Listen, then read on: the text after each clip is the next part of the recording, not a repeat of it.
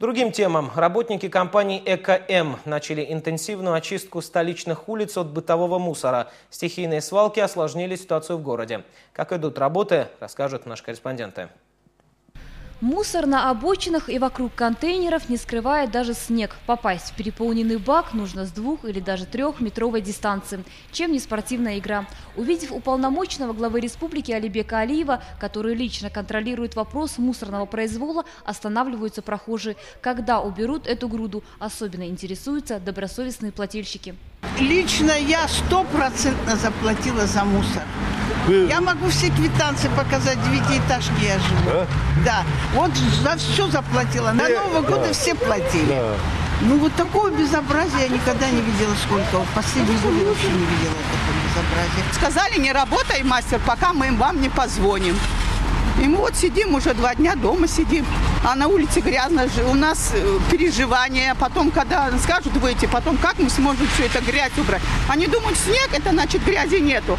Здесь собаки растаскивают, там эти люди бросают ветер, все, вот разлетается, вот посмотрите, везде, везде, везде грязь такая. Вы выходите на работу, и всей вашей бригаде тоже сходите, чтобы выходили Завтра на работу. Да? Завтра выходить, послезавтра выходить. Понятно, вот. пока вы... Первый рабочий день вы мне можете позвонить, насчет зарплаты тоже. Им дано указание, чтобы рас... рассчитались с работниками.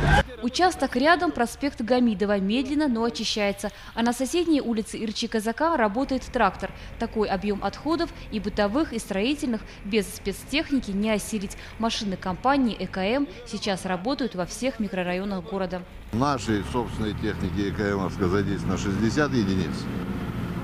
Это уже дополнительно на это превышает 100 единиц. В каждом районе где-то по 30 единиц работает. В Советском еще больше работает. Кировском, я вам скажу, по состоянию на сейчас где-то 34 единицы работает.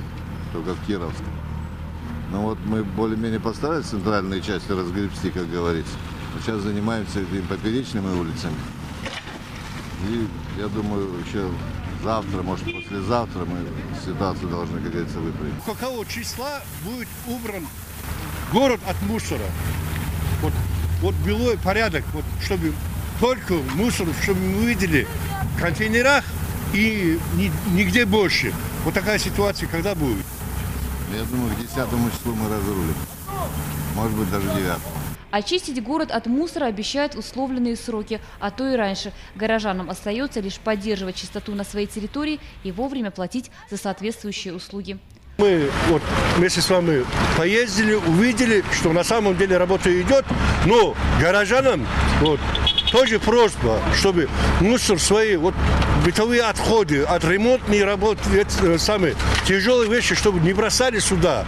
И самая большая просьба, чтобы каждый житель, каждый житель, чтобы за вывоз мусора вот эти копейки, чтобы платили.